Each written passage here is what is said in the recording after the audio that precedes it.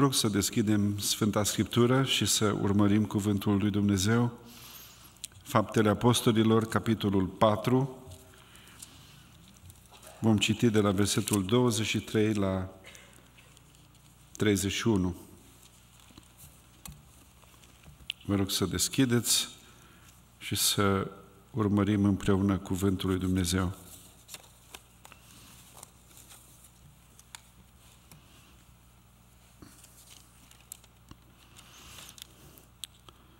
După ce li s-a dat drumul, ei s-au dus la ei lor și le-au istorisit tot ce le spuseseră preoții cei mai de seamă și bătrânii.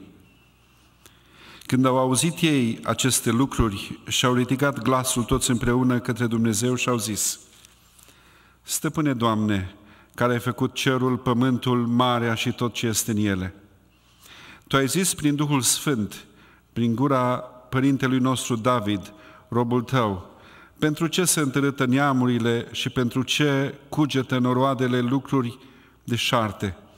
Împărații pământului s-au răsculat și domnitorii s-au unit împotriva Domnului și împotriva unsului său. În adevăr, împotriva robului tău, celui sfânt, Isus, pe care l-ai uns tu, s-au însoțit în cetatea aceasta Irod și Pilat din Pont cu neamurile și cu noroadele lui Israel ca să facă tot ce hotărâse mai dinainte mâna ta și sfatul tău. Și acum, Doamne, uită-te la amenințările lor, dă putere robilor tăi să vestească cuvântul tău cu toată îndrăsneala și întindeți mâna ca să se facă tămăduiri, minuni și semne prin numele robului tău, celui Sfânt Iisus.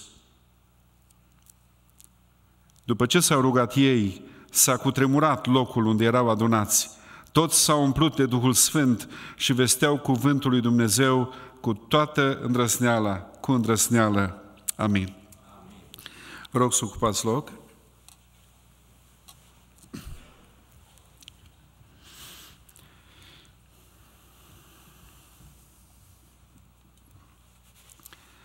Vă aduc salutări din uh, California, Biserica Emanuel, Zilele acestea la noi sunt 80 de grade,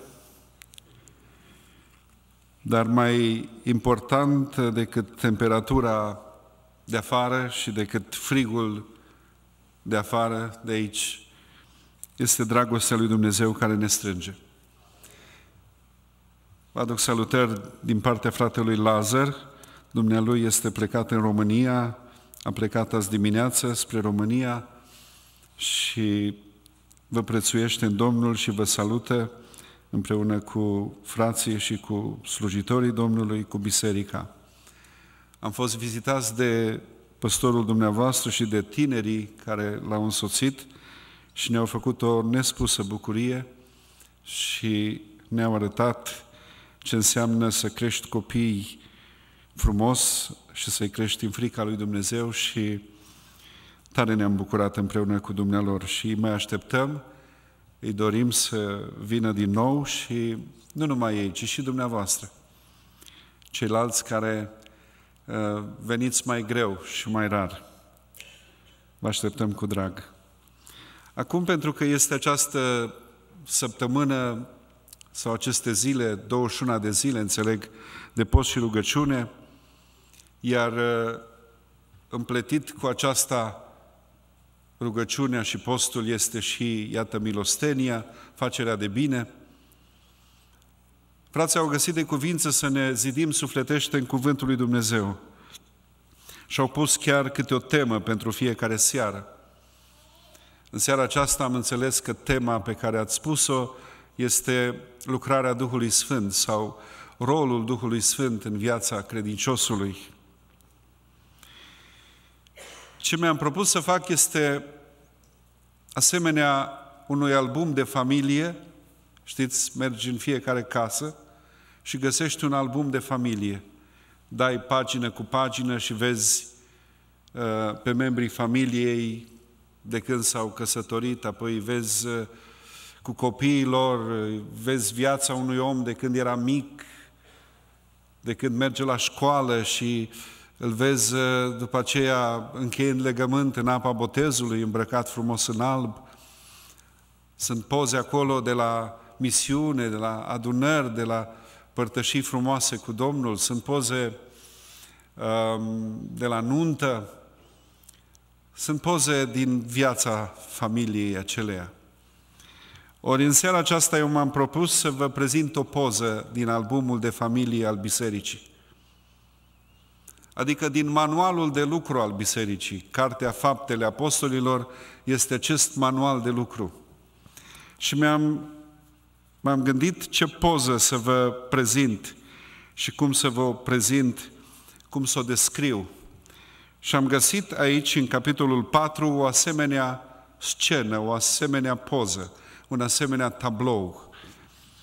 Deci este vorba de momentul când ei au venit la rugăciune, au stat în prezența Domnului și dintr-o dată mi s-a părut foarte ciudat.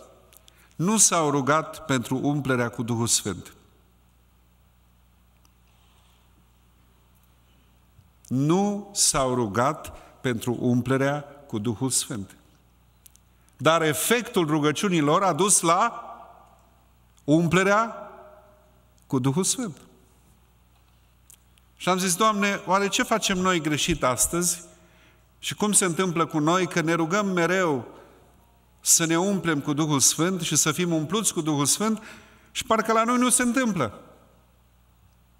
Cum a fost posibil la ei? Ce au făcut ei diferit?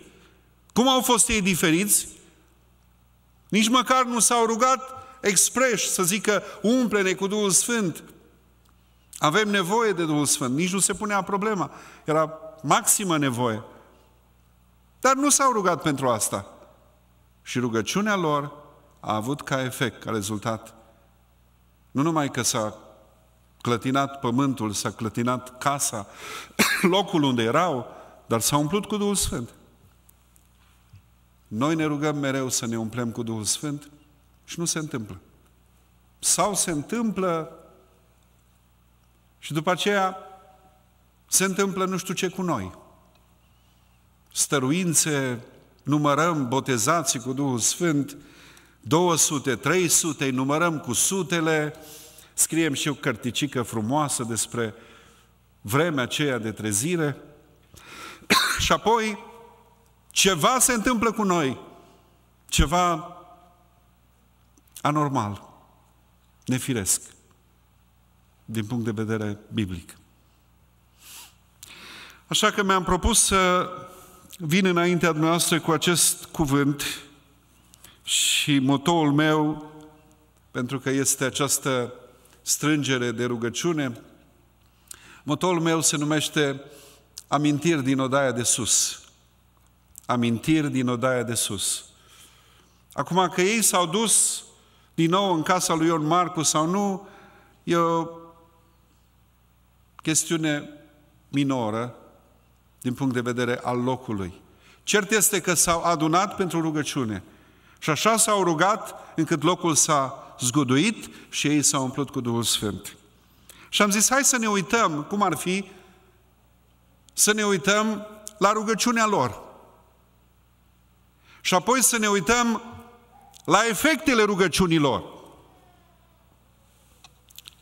Să vedem cum arată o rugăciune făcută de biserica primară.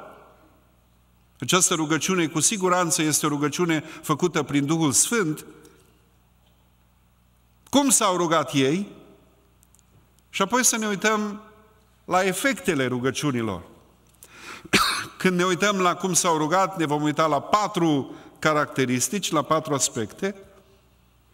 Iar ca să fim în simetrie și să vorbim puțin în uh, efect, cauză-efect, efectul acesta de oglindă, o să ne uităm și la patru rezultate, la patru efecte ale unei asemenea rugăciuni. Tare mă tem că încercăm, ne rugăm, postim, chemăm frații, facem aceste, aceste uh, strigări. Am făcut și noi în California asta. Am fost în uh, Vancouver, Washington, într-o biserică acolo, Biserica Philadelphia, în Vancouver, la fratele Danciu, de asemenea în post, în rugăciune. Cam toate bisericile la început de an se gândesc să începem cu post, cu rugăciune, cu apropiere de Domnul și e foarte bine, e foarte important, e foarte necesar. Dar îmi pun serios această întrebare. Cum ar trebui să ne rugăm și cum ar trebui să trăim această rugăciune pe care o facem, să avem rezultatele lor. Acum eu nu zic să se clatine locul acesta. Dacă ați fi în California, v-ați mai gândi că acolo sunt cu tremure mai mereu. Dar eu zic să ne umplem cu Duhul Sfânt și să ne umple Dumnezeu cu Duhul Sfânt. Amin? Știți, Rusaliile a venit o singură dată. Duhul Sfânt a fost trimis o singură dată. Și Duhul Sfânt nu se plimbă de la cer la pământ, pleacă, vine, iar se duce, iar se întoarce. Nu. A venit.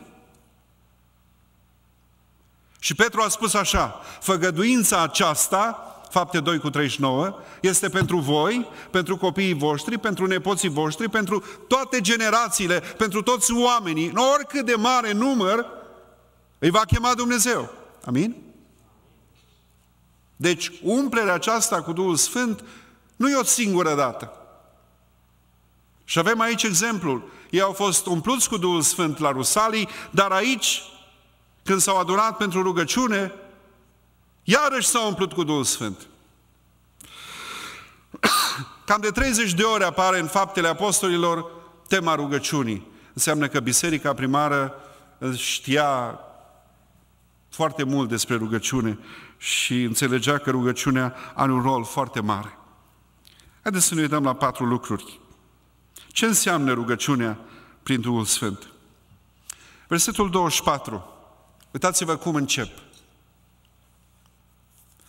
Și acum, stăpâne, așa zice, au zis, stăpâne, Doamne, care ai făcut cerul, pământul, marea și tot ce este în ele – Primul lucru care se întâmplă, rugăciunea prin Duhul Sfânt, îl recunoaște pe Dumnezeu suveran.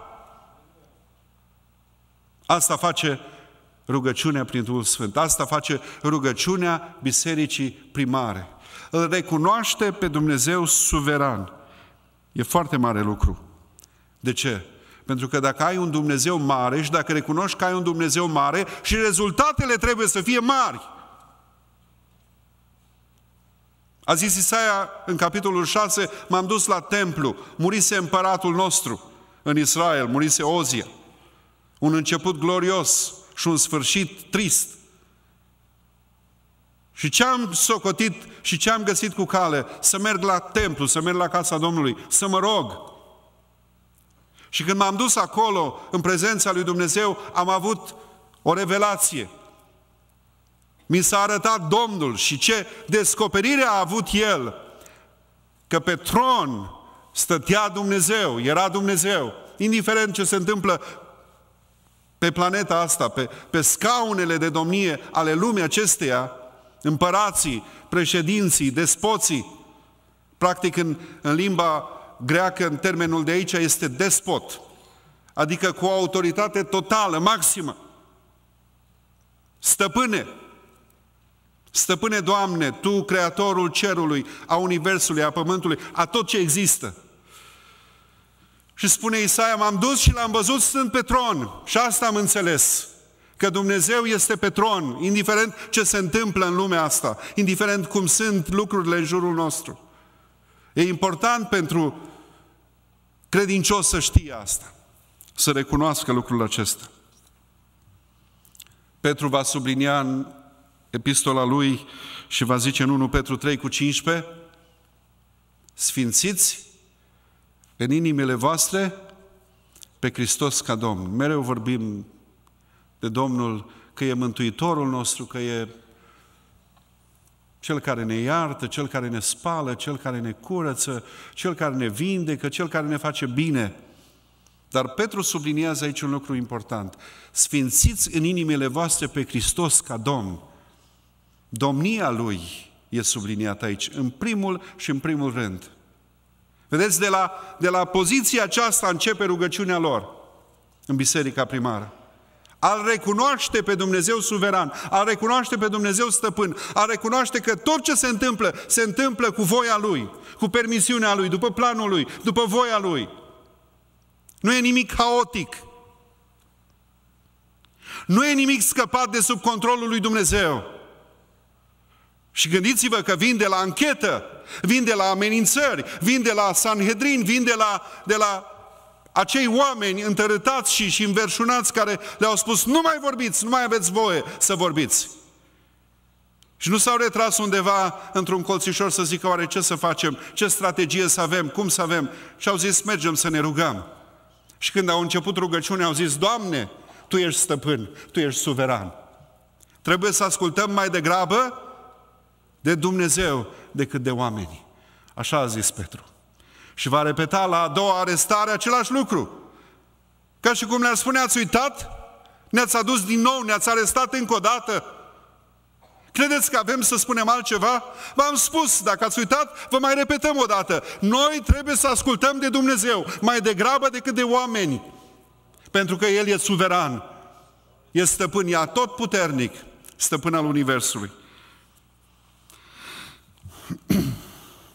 Al doilea lucru, versetele 25 la 28, rugăciunea făcută prin Duhul Sfânt recunoaște existența unui război spiritual. Uitați-vă ce interesant se roagă ei. Uitați-vă, vă rog, cum pun ei problema. Pe lângă faptul că se roagă cu Biblia, se roagă cu Scriptura și au Scripturi și le, le rostesc în prezența Domnului prin credință și contextualizează ce se întâmplă cu ei, de fapt ce spun ei este următorul lucru. Doamne, exact cum s-a întâmplat cu Hristos, se întâmplă cu noi. Și ce s-a întâmplat cu Hristos era scris în Biblie, este scris în Biblie, în Vechiul Testament. Citează Psalmul 2. S-au întărătat neamurile, s-au întărătat împărații, s-au înverșunat, s-au ridicat împotriva lui, se ridică și împotriva noastră. A spus Domnul, cum au făcut cu mine, așa vor face și cu voi. Dar ei au folosit Scriptura tocmai ca medicament pentru frica lor. Tocmai Scriptura aceea le-a stat ca o temelie pentru rugăciunea care trebuiau să o facă și să spună știm că este o confruntare, este o luptă, este un război spiritual. Credeți că am fugit de comuniști și am venit aici și am scăpat de persecuție sau am scăpat de probleme? Nu! Război spiritual este și aici. Luptă spirituală este și aici. Dacă nu o înțelegem, dacă nu o vedem, dacă nu, nu ne dăm seama de confruntarea asta între, între adevăr și minciună, între lumină și întuneric, între Dumnezeu și satana, atunci trebuie să mergem înapoi în odaia de sus să vedem cum s-au rugat ei. Și după ce au spus, ești suveran, ești stăpân, ești domn, al doilea lucru au zis, știm că este o luptă spirituală și asta nu se poate decât cu post și rugăciune, decât stând în prezența ta. Și ce s-a întâmplat cu Hristos, se întâmplă și cu noi. N-au zis, apără-ne, Doamne, scapă-ne, Doamne, schimbă situația, Doamne, fă ceva, intervină, Doamne, că nu mai putem. N-au zis asta. Au zis exact ce s-a întâmplat cu Hristos se va întâmpla și cu noi. Cum a zis Domnul? Vă trimit ca pe niște oi în mijlocul lupilor. Dacă ați fi din lumea asta, lumea var, var iubi, dar nu sunteți din lumea asta. Și cum nu m-a iubit nici pe mine, că nu sunt din lumea asta, atunci nu o să vă iubească nici pe voi. Nu vă așteptați să vă iubească. Dar acolo la școală, acolo la lucru, acolo unde ești, oriunde ești, să fii conștient că este un război spiritual. Este o luptă spirituală pe care trebuie să o duci prin Duhul Sfânt și trebuie să o duci prin rugăciune și trebuie să înțelegi lucrul acesta foarte, foarte serios. De fapt, noi ne tot lăudăm cu acea galerie grozavă cu eroii credințe din Evrei, capitolul 11. Ați observat, vă rog, că în acea listă de eroi sunt două grupe distincte – Există o grupă despre care autorul cărții către evrei spune ăștia au fost tari în credință, au fost mari în credință, au biruit, zice, toate ispitele, au fost salvați din cuptor, au fost salvați din gura leului, aceștia au biruit, aceștia au stins flăcările, aceștia prin credință au călcat peste șerpi, aceștia au fost biruitori în toate. Și zici, wow, cine se poate ridica la nivelul lor? Dar după aceea, dacă citești mai jos, vei descoperi că mai este o categorie. Și despre categoria asta a doua, autorul spune așa, ei de care lumea nu era vrednică. Și ăștia au murit. Ăștia n-au fost salvați. Ăștia au fost tăiați în două cu fierăstrău. Ăștia au fost dați la fiare. N-a venit niciun înger să-i scape. Uitați-vă la prima arestare, îi ține o noapte în arest, îi scoate de la arest, îi duce la anchetă, vorbesc de Petru și Ioan, le dă drumul, îi vin și se roagă, se duc înapoi la predică. Se duc înapoi la evangelizare. Iar îi arestează. Iar îi închide o noapte. Și în a doua noapte de închisoare, în a doua noapte de, de uh, ținut în închisoare, vine îngerul Domnului și îi scoate afară. În prima noapte nu îi scoate, în a doua noapte îi scoate. I-a arestat și Iacov, i-a arestat și Petru. Lui Iacov îi se taie capul, Petru este scos miraculos afară. Vedeți, tocmai asta este. Știm că asta ni se va întâmpla și nouă. Nu ne așteptăm la altceva. Poate să fie one-way ticket, poate să fie numai, numai un drum. Eu mi-am luat bilet din Los Angeles în, în Chicago, dus întors. Dus întors. Nu am de gând să rămân aici, cel puțin până trece iarna. Poate mai vin la vară. Dar biletul meu spune că e dus întors. A lor nu era așa. Ei spuneau așa, ce ai hotărât tu și ce a hotărât planul tău. Dar suntem conștienți că este un război spiritual, că este o luptă spirituală. Mă gândesc care au fost mai buni, care au fost mai grozavi. Pentru că nu e nicio distinție, ei sunt la fel, sunt eroi ai credinței. Unii au scăpat, alții n-au scăpat. Pe unii eliberează Dumnezeu, pe alții nu eliberează Dumnezeu. Domnul Iisus avea un triunghi de, de, de ucenici foarte apropiați. Cine erau? Petru și cei doi frați al lui Zebedei, nu? Iacov și Ioan. Și triunghiul se rupe, se sparge. De ce? Pentru că Petru e scăpat, dar Iacov, lui Iacov îi se taie capul. A fost Iacov mai slab? Nu, n-a fost deloc slab. Asta a fost planul lui Dumnezeu. Asta a fost voia lui Dumnezeu. Asta este ce trebuie să știe omul în războiul spiritual. În ce privește Evanghelia, în ce privește predicarea, în ce privește trăirea unei vieți sfinte. Poți să mergi și să nu te mai întorci. Poți să mergi și să nu mai ai tichet de venit înapoi. Să mergi până la capăt, să mergi cu Domnul. Al treilea lucru, versetele 29 și 30. Nu se roagă, Doamne, intervino, Doamne, scapă-ne, Doamne, ia-ne apărarea, Doamne, încetează persecuția, Doamne, schimbă uh, circumstanțele, schimbă împrejurările. Nu se roagă așa. Ce spune în al treilea rând? Rugăciunea prin Duhul Sfânt recunoaște imperativul marii trimiteri, mari însărcinări. Și care e marea însărcinare? Mergeți în toată lumea și predicați Evanghelia la orice făptură. Faceți ucenici din toate neamurile, botezați Asta era. A spus, Doamne, treaba ta e ce faci cu ei. Uită-te la amenințările lor, dar e între tine și ei. Nu e treaba noastră. Noi nu ne războim cu ei, nu avem treabă cu ei. Treaba noastră e alta. Trebuie să vestim Evanghelia, trebuie să mergem mai departe cu cuvântul, trebuie să facem mai departe ucenici. Asta e misiunea noastră. Observați cum s-a rugat. Ce frumos! Ce serios! Rugăciunea făcută prin Duhul Sfânt recunoaște imperativul Marei Trimiteri. Asta este misiunea noastră. Asta este chemarea noastră. Când i-a spus lui Timotei, Pavel îi scrie din închisoarea Romei și spune așa, zice, propovădește cuvântul la timp. Se oprește? Care e timpul? Poate nu e timpul, poate nu e acum, poate nu trebuie, poate nu sunt condițiile, poate nu ești pregătit, poate nu. Nu, dar zice la timp și ne la timp. Cu alte cuvinte, asta trebuie să faci. Zi și noapte. No matter what. Nu te oprești. Observați cum s-au rugat și pentru ce s-au rugat și cum au înțeles ei. Nu un pic dacă nu-ți convine ceva, oh, nu ești persecutat, nici măcar nu ești persecutat. Cineva te calcă pe bătătură, zici, plec la altă biserică.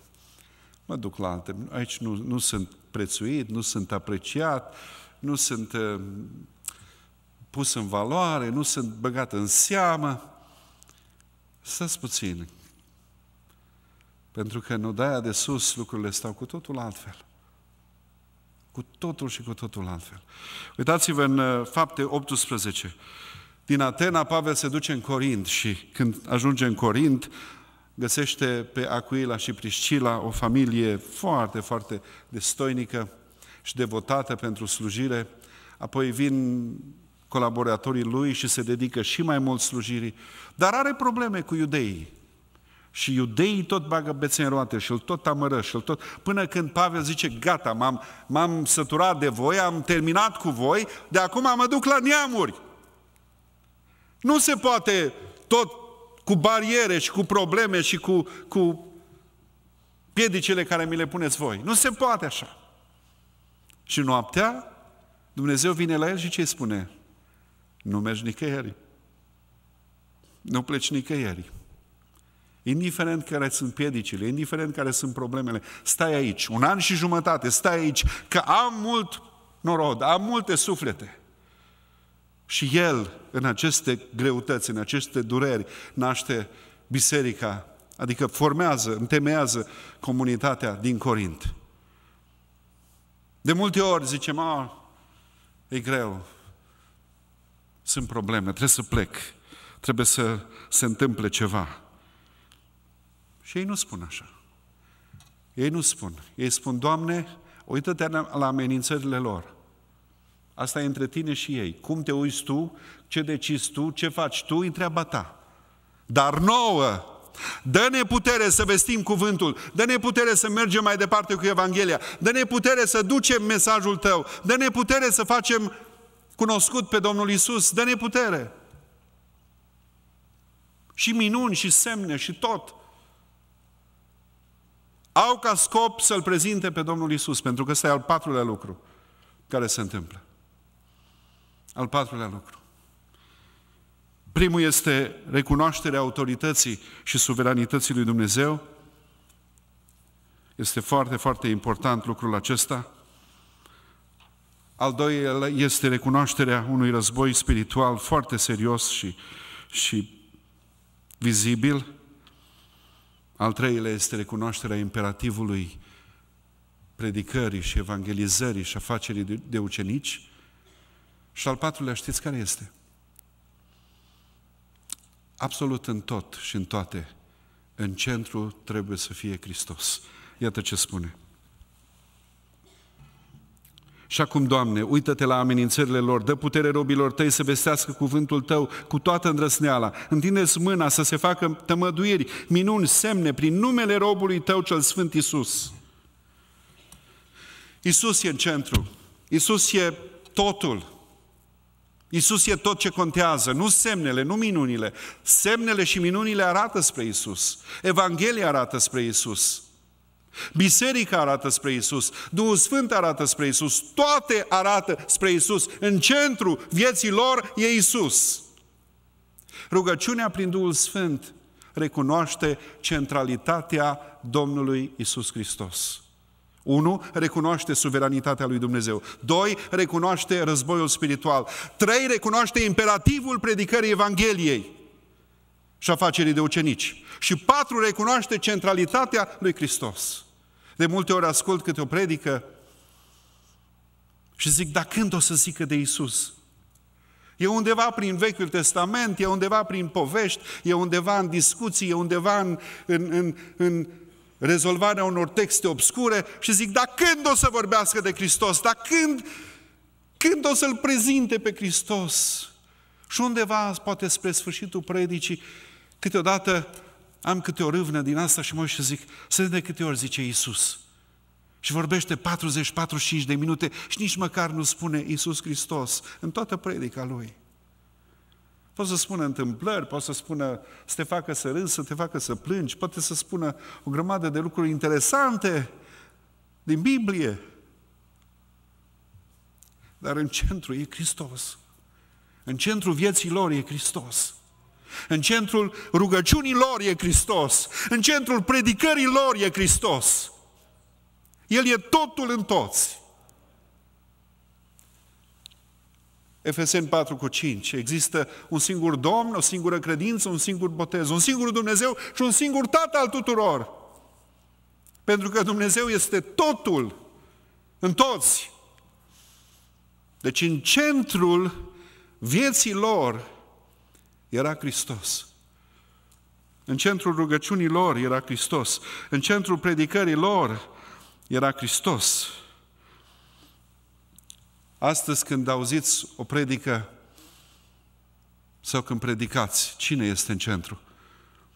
Astăzi când ne rugăm, cine este în centru? Observați, vă rog, cum sunt rugăciunile noastre. Doamne, dăm, Doamne, fă Doamne, vindecă-mă, Doamne, rezolvă Doamne, căutăm servici, Doamne, ajută-mă, Doamne, copiii, Doamne, bunica, Doamne, am nevoie de cutare, am nevoie... Nu că sunt lucruri rele, lucruri, lucrurile acestea care le cerem. Uitați-vă, ei în rugăciunea asta nu spun nimic din toate astea. Nu spun nimic din toate astea. În centrul rugăciunii lor e Hristos.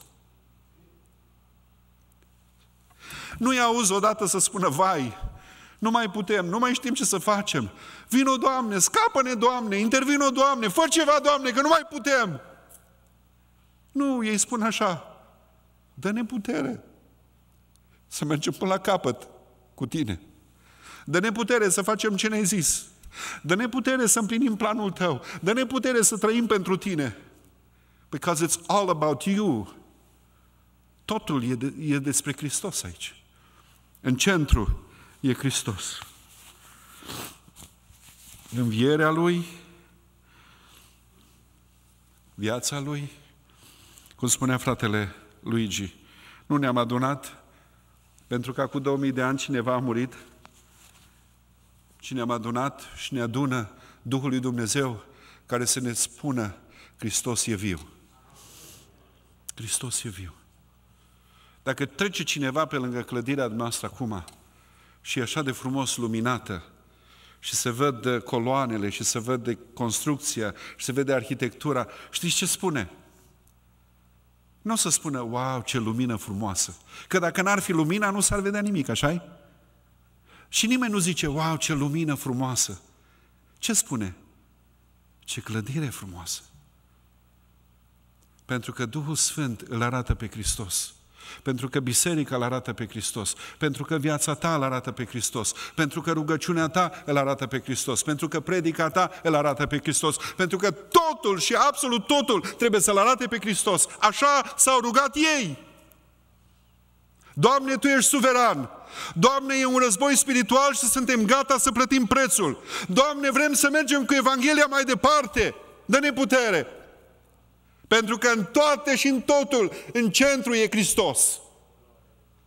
Și atunci s-a întâmplat ceva. Ce s-a întâmplat? O să ziceți, oh, da, s-a cutremurat locul. Până să vorbim de cutremurarea locului, vreau să vorbim de câteva efecte care le are această rugăciune. Dacă cineva se roagă așa, în viața lui trebuie să se producă aceleași efecte ca și în viața lor. O viață de pasiune, o viață de dedicare, de predare, de consacrare vine pentru cei care se roagă așa. Sigur că ei sunt pasionați de relația cu Dumnezeu. Rugăciunea înseamnă relația asta cu Dumnezeu. Ne adunăm la rugăciune. Ei când au venit la rugăciune, au venit ca la, ca la s-au încolonat pentru război, s-au încolonat pentru lucrare, s-au încolonat pentru slujbă. Noi acum venim la rugăciune ca la un fel de pari, ca la un fel de program, ca la un fel de... Hai să vedem ce o mai fi.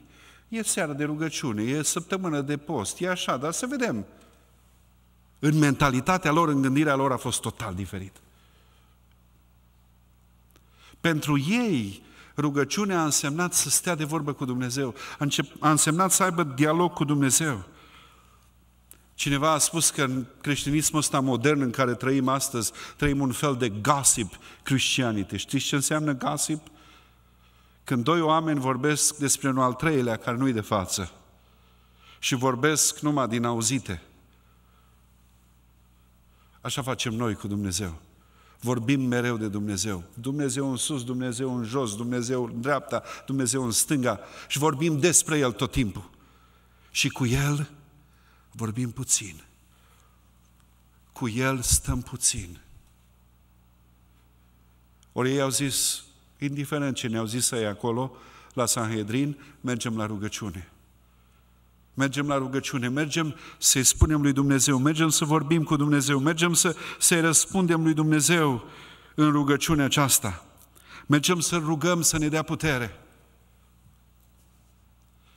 Știți câți oameni se convertesc în fiecare lună în Corea? 12.000 de noi convertiți pe lună. Cu atâta crește biserica.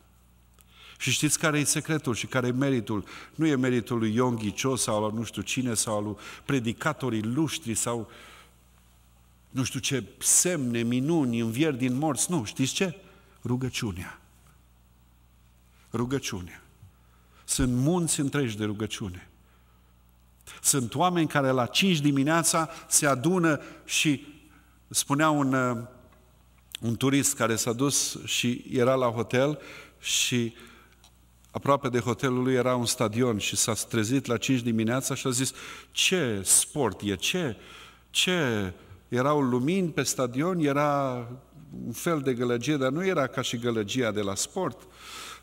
ce poate să fie? Ce fac coreenii ăștia la ora 5 dimineața? Știți ce? Era tot stadionul acela era plin de oameni care veniseră pentru rugăciune, dar toată Coreea e plină cu asta. Pentru ei, rugăciunea înseamnă cum îți bei matale cafeaua aia de dimineață, fără de care nu poți. Și până nu o bei, nu ți se deschid ochișorii și nu poți funcționa. Așa e pentru ei rugăciunea. Așa e în sângele lor și în natura lor. Duhul de rugăciune. Și normal că Evanghelia are putere și penetrează inimile oamenilor și oamenii se întorc cu miile. În medie 12.000 de suflete pe lună, nu pe an. Noi predicăm 12.000 de predici.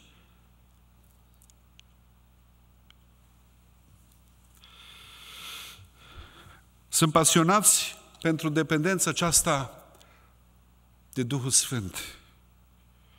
Vedeți, ei merg înapoi în odaia de sus, merg înapoi pentru o nouă umplere, merg înapoi pentru a se pune la dispoziția lui Dumnezeu și a spune, Doamne, umple-ne din nou, încarcă-ne din nou, îmbracă-ne din nou, echipează-ne din nou. Vreau să spun ceva. Credeți că erau goi?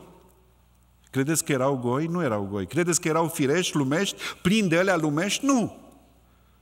Și cu toate astea s-au umplut de Duhul Sfânt, au avut nevoie să fie umpluți de Duhul Sfânt ca să ducă slujirea mai departe.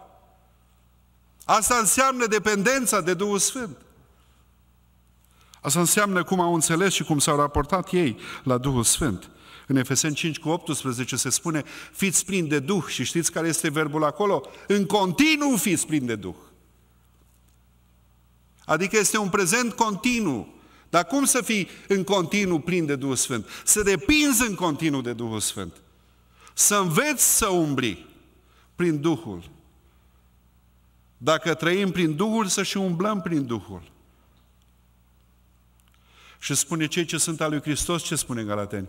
Și-au răstignit firea pământească cu patimile și cu poftele ei. Ia auzi. Dar nu intrăm acolo. Cred că trebuie să se schimbe puțin atitudinea aceea pe care o zicem la stăruințe. Ai Duhul Sfânt? Ai Duhul Sfânt? Cred că am, am pus-o puțin greșit. Știți care e întrebarea corectă? Ne are Duhul Sfânt pe noi? Poate să spună Duhul Sfânt la miez de noapte, scoală-te și roagă-te, sau scoală-te și du-te, sau scoală-te și dă un telefon, sau scoală-te și mijlocește pentru cutare în România, fă cutare lucru. Poate să spună Duhul Sfânt asta? Oh, pe eu nu sunt Petru, nu sunt Pavel. Uite să-ți dau un exemplu simplu. Da? Anania. În Damasc, un om, un credincios pe care îl chema Anania. Duhul Sfânt i-a zis, Anania, da, Doamne, du-te, unde să mă duc? Du-te pe strada aia. Și să fac, Doamne, pe strada aia, că mă mănâncă ăla. A venit cu scrisori, a venit cu cătușe. Du-te! Că e un vas al meu. Du-te! Imaginez cum a fost discuția între Anania și nevastă sa. Băi, mă duc. Unde mergi, mă? Mi-a zis Duhul Sfânt să mă duc la Saul. Ăla care ne prinde, care ne omoară, care ne închide, care ne face rău.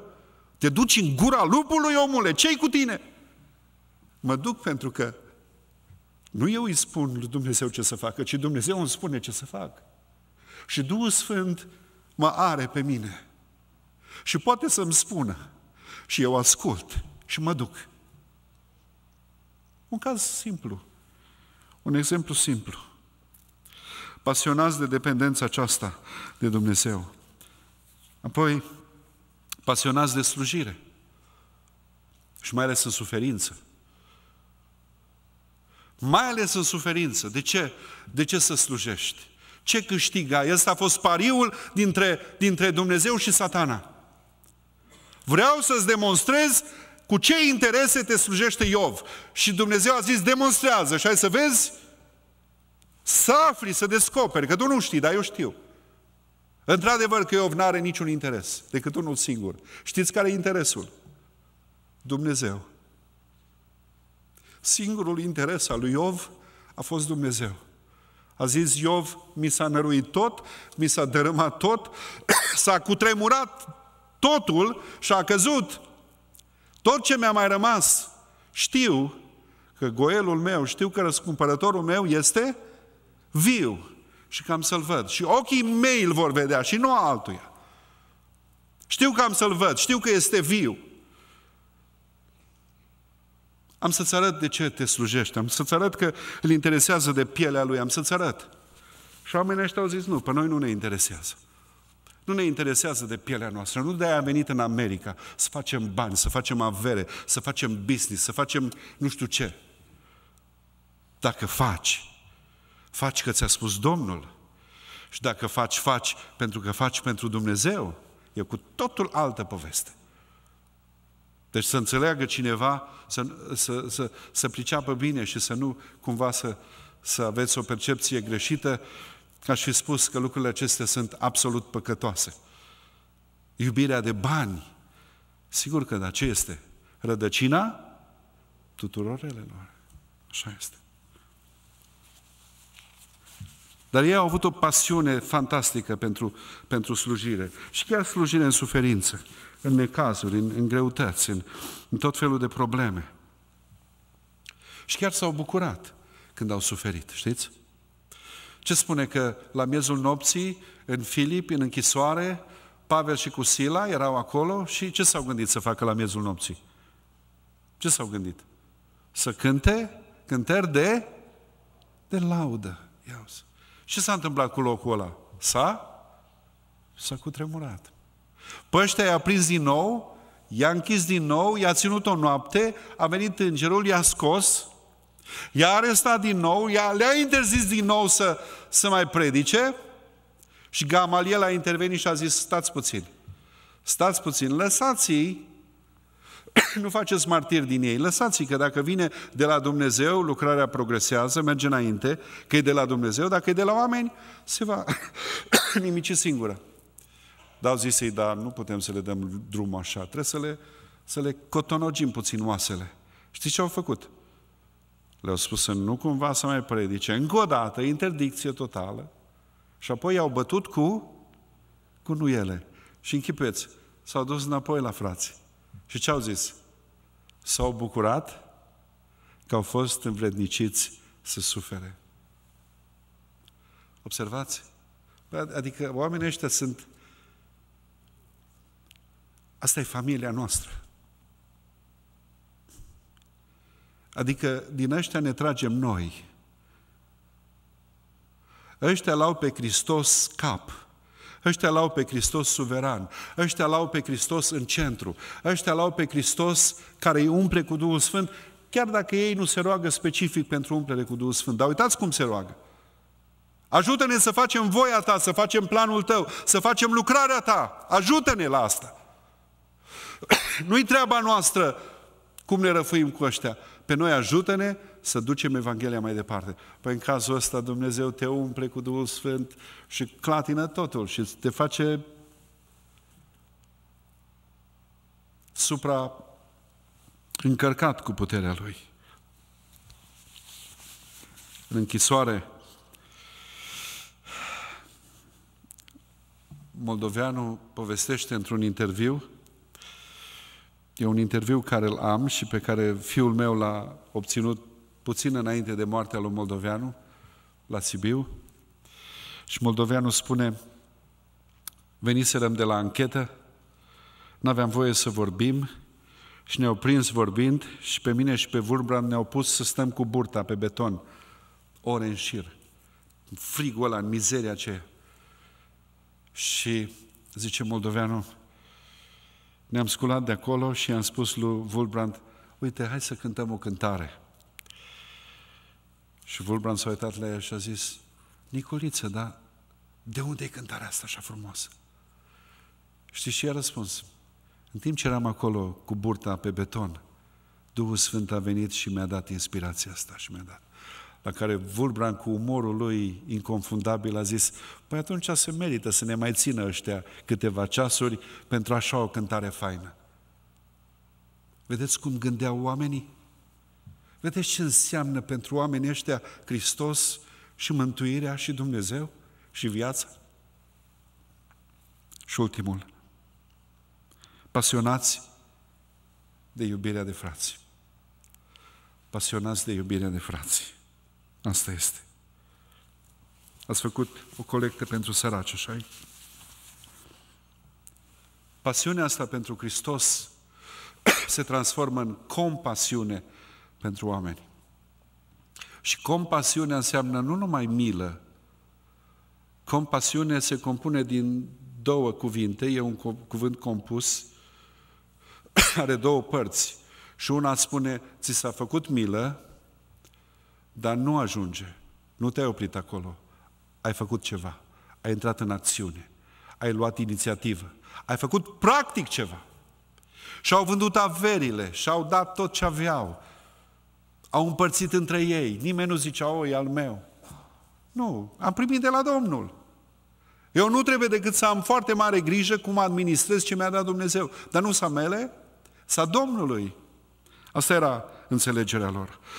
Și în 2 Corinteni, capitolul 8, când se făcea strângere pentru frații din Ierusalim, pentru biserica asta, a zis Pavel, am vrut să trec pe lângă macedoneni, că erau săraci, lipsiți. Dar zice, ne-au trimis vorbă, nu cumva să-i ocolim. Și ne-am dus la ei.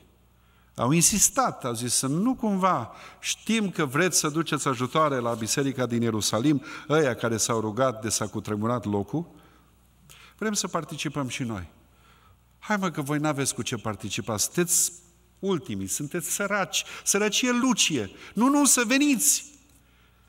Și ce Pavel am trimis pe frați și imaginați-vă ce s-a întâmplat. Ne-au șocat.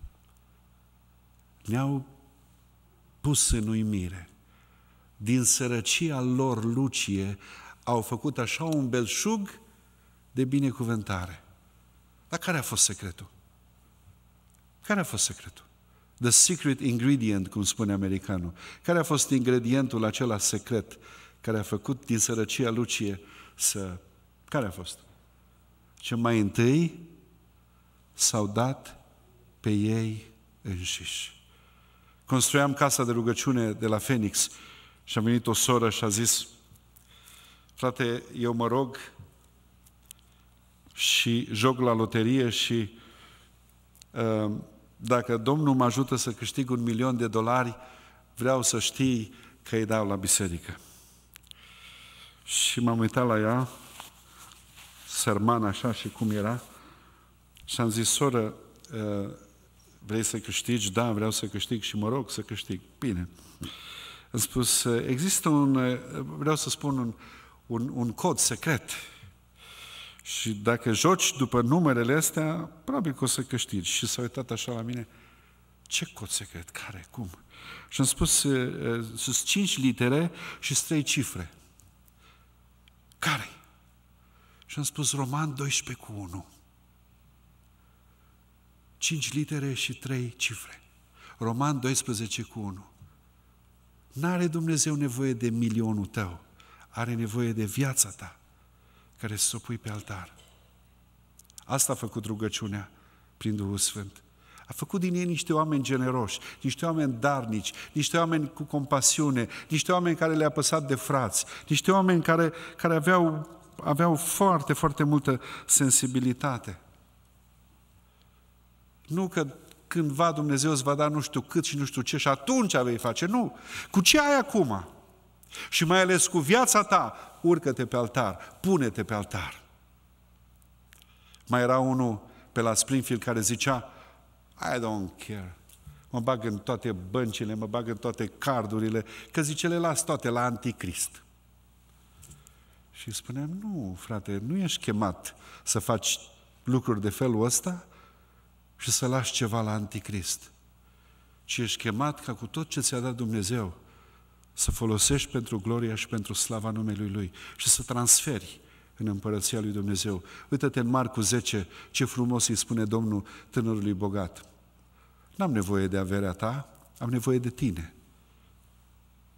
Averea ta te învăț cum să o transferi în cer. Ți-e dragă, așa, îți place de ea, nu vrei să o pierzi. Uite, îți dau secretul, cum să o faci să nu se piardă. Dacă o lași aici, se pierde. O mănâncă molia, rugina, o fură hoții, dar te învăț să o transferi. O dai la săraci, o dai în numele Domnului și merge direct transferată în împărăția lui Dumnezeu. Și abia acum, Abia acum, în încheiere, vine cu tremurul. În cartea judecătorilor, Debora scrie o cântare, cântarea biruinței. Știți cum începe cântarea ei, judecător 5, versetele 4 și 5? Zice, când a venit Domnul din Seir, când a venit Domnul din munții Domnului, când s-a ridicat Domnul, când a ieșit Domnul din Israel, s-a cutremurat pământul. S-a cutremurat pământul. Și Matei scrie despre două cutremure. Încheiem aici. Două minute, poate. Scrie despre un cutremur în Matei 27. Un cutremur când pe crucea Golgotei se făcea judecata păcatului meu și păcatului nostru. Dar apoi mai, Matei mai scrie de un cutremur. În Matei 28 spune că atunci când a înviat Hristos, atunci când piatra aceea mare s-a dat la o parte, atunci când oamenii n-au mai știut ce să creadă, dar ucenicii s-au întâlnit cu El, l-au văzut, atunci nu numai păcatul a fost judecat, ci a fost judecată chiar și moartea. Așa cântăm, cu moartea pe moarte călcând. A călcat-o, a zdrobit-o. Astfel de cutremure avem nevoie. Și observați, vă rog, cu cât se cutremură locul, cu atâta ei devin mai neclintiți, mai necutremurați, mai, mai neînfricați, plini de îndrăzneală, au continuat să slujească, au continuat să lucreze, au continuat să vestească, au continuat să, să-și verse inima și, și viața lor în lucrarea lui Dumnezeu. Să știți că numai atunci vine Duhul Sfânt și ne umple. Am ajuns la concluzia asta. Îmi pare rău să dezamăgesc pe cei care cred că merg la un subsol, strigă tare și cineva se apropie de urechea lor și spune dă slavă lui Dumnezeu că ai primit vorbirea, ești botezat.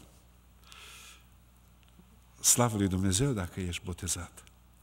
Dar dacă ești botezat, trebuie să iei foc ca oamenii ăștia. Dacă ești plin cu Duhul Sfânt, trebuie să iei foc ca oamenii ăștia. Știți că cea mai mare problemă care o am cu tinerii când vin pentru counseling sau vin pentru sfătuire, primul lucru care îl întreb, ca să avem un punct de plecare, zic, te rog să-mi spui când te-ai întâlnit cu Domnul. Te rog să-mi spui cum a fost întâlnirea ta cu Domnul. Te rog să-mi spui când ți-ai predat tu viața Domnului. Cum a fost întâlnirea ta cu Hristos. Și cei mai mulți nu știu să spună. Ce nu știu. Când m-am botezat? Nu, nu când te-ai botezat. Când m-a botezat Domnul cu Duhul Sfânt? Nu, nu când te-a botezat Domnul cu Duhul Sfânt. Dar nu știu. Cum adică nu știi? Îmi trebuie să existe reperul ăsta. Trebuie să existe ziua asta. Și din momentul acela totul se schimbă. Totul se transformă. Zilele acestea m-a vizitat un păstor din România, nu l-am văzut de mulți ani, era coleg cu mine la Șimleu Silvaniei, la liceul unde l-am primit eu pe Domnul. Și îmi spunea Ionel Chichineșdi, zice, mi-aduc aminte acea zi de aprilie 76, când în fața la 800 de elevi ne-au scos pe toți în careu și când arătau cu degetul și spuneau, ăștia sunt lepra societății, ăștia sunt oamenii care au, care au stârnit atâta împotrivire, pentru că Dumnezeu a făcut o trezire acolo și nu numai pe mine m-a întors, ci a întors pe mulți, mulți, zeci, poate sute, poate nici nu știu. Și apoi securiștii stăteau de o parte și de alta a unuia dintre directori, erau trei directori, uh, directorul principal și doi asistenți. Și a zis, asta nu-i destul. Atât de grav, atât de mare damage au făcut oamenii ăștia, încât uh, până și profesorul ăsta s-a prins în secta lor și l-au împins în față, acolo în fața noastră a tuturora și i-au pus cătușele și l-au închis pentru aproape trei ani de zile. Și povestea Ionel și zicea, mi-aduc aminte de ziua aia, când totul s-a clătinat. Dar când totul se clatină, oamenii rămân neclintiți în Hristos. Rămân tari în Hristos. Iov, știi ce zice? Știu că răscumpărătorul meu este viu. Noi, cei de astăzi, ar trebui să-i spunem, Iov, știi puțin. Știi puțin. Vrem să spunem ceva. Noi știm nu numai că a murit, știm și că a înviat. Noi știm nu numai că a înviat, știm și că s-a înălțat. Noi știm că este la dreapta lui Dumnezeu și că este pe scaunul de domnie. Noi știm că va veni înapoi. Noi știm pentru că ne-a dat Duhul Sfânt. Nu ne-a dat un duh de frică, 1 Timotei 1 cu 7, ci ne-a dat un duh de putere, de dragoste, de înțelepciune, de chipzuință. Dacă știm toate astea, Știm oare că avem o misiune de făcut? Știm oare că trebuie să vestim Evanghelia și trebuie să facem ucenici? Știm oare că trebuie să ieșim afară plin de puterea Duhului Sfânt și să-L arătăm pe Hristos în faptele de dărnicie și de dăruire și de, de generozitate în care în centru e Hristos? Știm? Asta știm? Dacă ne rugăm în seara aceasta, Doamne, vrem să se împlinească în noi voia ta, atunci s-ar putea ca locul ăsta să se clatine. Ne ridicăm la rugăciune. Ne ridicăm în prezența Domnului. Vă provoc să facem această rugăciune. Doamne, Tu ești suveran. Doamne, este un război spiritual în care sunt implicat, sunt angrenat prin armele luminii, prin armele Duhului, prin armătura Duhului, prin puterea care mi-o dai Tu, dar știu că este un război spiritual. Vreau ca Evanghelia să meargă. Vreau să fiu un mesager. Vreau să fiu o epistolă vie. Vreau să duc mesajul Tău. Pentru că vreau ca în centru să fie Hristos și numai El. Atunci vin efectele. Atunci vin schimbările atunci vine pasiunea pentru slujire, pasiunea pentru iubire, atunci vine pasiunea pentru rugăciune, atunci vine pasiunea pentru dependență de Duhul Sfânt, atunci se clatină, se zguduie casa. Dar tu devii neclintit. Spuneți-mi, eu urmăresc câteodată pe, pe, pe site-ul dumneavoastră și, și uh, ce apreciez foarte mult și ce îmi place foarte mult e că când predică acasă, fratele Luigi predică cu mai multă îndrăzneală și cu mai mult curaj. Și când predică în deplasare, predică totdeauna cu, cu rezervă și cu grijă, poate. Dar aici, acasă, la dumneavoastră, predică cu multă autoritate. Cum ar fi dacă Duhul Sfânt vine în seara asta și ne scoate din confort, ne scoate din obișnuință, ne scoate din tradiție, ne scoate din oboseală, ne scoate din amorțială, ne scoate. Ce frumos ar fi să zicem, acum ne rugăm fraților pentru umplerea cu Duhul Sfânt, da? Nu, acum ne rugăm și spunem așa, Doamne, ești suveran. Sfințesc în inima mea pe Hristos ca Domn. Doamne, E un război spiritual pe care Tu l-ai câștigat și în numele Tău vreau să-l câștig și eu. Doamne, mi-ai dat mandatul să duc Evanghelia mai departe, să fac măcar un ucenic. Vreau anul ăsta să fac un ucenic. Și mai presus de orice, Doamne, așa cum s-au rugat ei, mă rog și eu, ca în centrul vieții, în centrul rugăciunii, în centrul predicării, în centrul tuturor și a toate să fie Hristos. Și atunci casa se clatină. Iar tu rămâi cu atât mai mult neclintit în Hristos. Ne rugăm.